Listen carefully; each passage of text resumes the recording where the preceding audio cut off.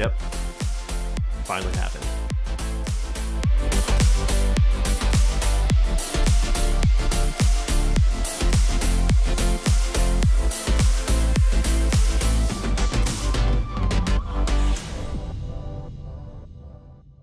Before getting started today, I'd like to thank Eddie3911 and Nick Madsen for joining the channel as monthly producers. I greatly appreciate the support that that brings to the channel and helping to cover the odds and ends that are shown in the videos and overall production. So thank you both so much for that. So to the topic at hand, yes, this was a long, long, long process to wait out. And I mean, I've been whining and bitching and complaining about securing an open ice cabinet and after a few wrong turns, trapdoors, and miscommunications, I finally got one. So this came from the CoinOp warehouse in Hagerstown, Maryland. If any of you in the Northeast follow what's been happening with this place, the owner Lloyd recently sold the large warehouse that he has, and I think he's still keeping his smaller storage area behind Hub City Vinyl. But he said a condition of sale for the larger warehouse was that it had to be emptied. So if you've ever been there or have seen pictures, this is a pretty sizable place. I expected it to be large the first time I went there, and it was probably maybe three or four times what my expectations were. All this to say, Lloyd was doing appointments and allowing people to walk through and buy machines. I went down on a Thursday with a friend with the sole purpose of finding an NBA Jam cabinet, and guess what? I did. But I also found an NBA Showtime cabinet that was in fairly decent shape. This is an ideal cabinet for converting to a sports station, and I encouraged my friend to grab it. Now, if he hadn't bought this, I certainly would have.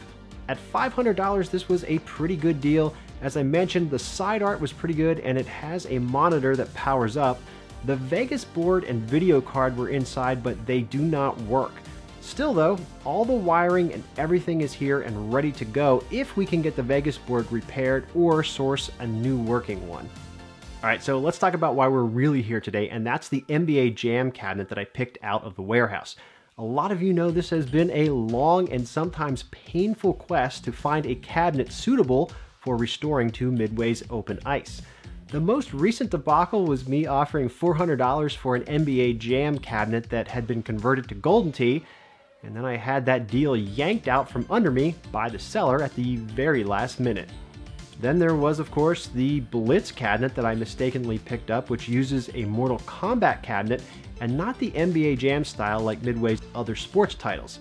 Well, that one thankfully had a positive outcome though, and then there was the true dedicated open ice selling for $1,200 on KLOV that I ended up passing on.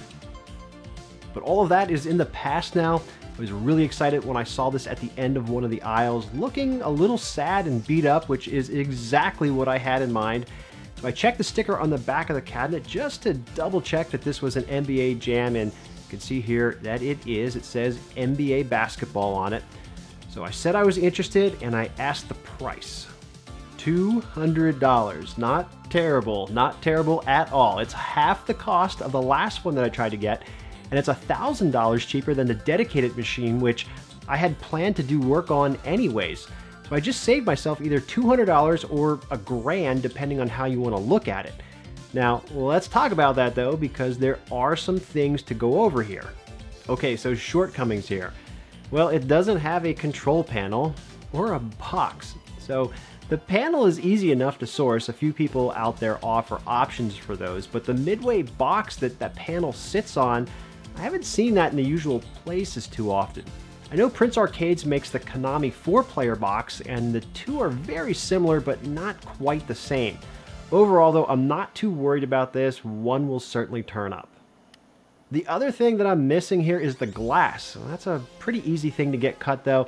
I got a smoked piece cut for the Konami when I finished that up, and I want to say it was about 80 bucks or so shipped. So one of my favorite things about getting a new machine is going through it initially and seeing what I can find inside. Now this was NBA Jam, but had since been converted to Blitz 99. So when digging through stuff in the bottom of this, I found the Nintendo 64 memory card interface for Blitz 99. This is a cool little piece of history similar to Killer Instinct in that it represents a collaboration between Midway and Nintendo. Back in the day, you could design custom Blitz plays on N64 and then load them up for use in the arcade. I believe this only works with Blitz 99, so sadly I don't think I can use this with Blitz 2000 on the sports station.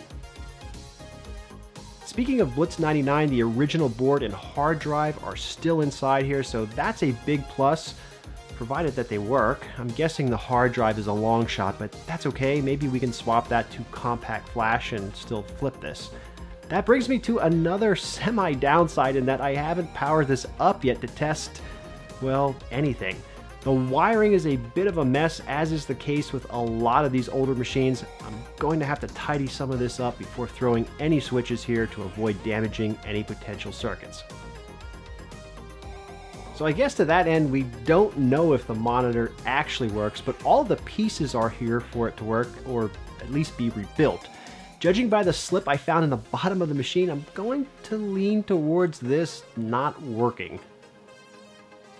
Oh, and I almost forgot, I did find this NBA Jam original manual and tournament bracket cards in the bottom of the cabinet too. Just some really cool, unexpected artifacts. Really love stuff like this. On the outside of the cab, you can obviously see the Blitz stickers that were used when this was converted. The cab that was painted black and then had these slapped onto the sides. And if you look at the top where the paint is starting to wear off in places, you can see the very faded design of the original NBA Jam artwork. This is the basketball pattern, which has obviously seen better days.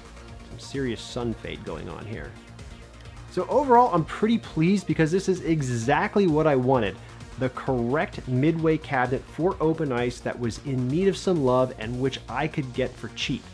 I know that it needs glass, control panel, and box, and wiring, artwork, maybe a few other fixes too, but given that I already have the artwork, the buttons, the sticks, I own the original PCB and I was going to want to redo the artwork on the one on KLOV anyways, I basically would have been doing the exact same thing I'm about to do to this cabinet, but on a cabinet that was going to cost me $1,200, and this is 200 bucks. And the end product, when I'm finished the overhaul, is going to be exactly the same. And on the bright side, the one I missed out on for $400 doesn't feel so bad now either. So I did want to say thanks to everyone who reached out periodically, pointing me to cabinets and potential leads. It's a really nice and helpful community of people out there, and you all have been very kind.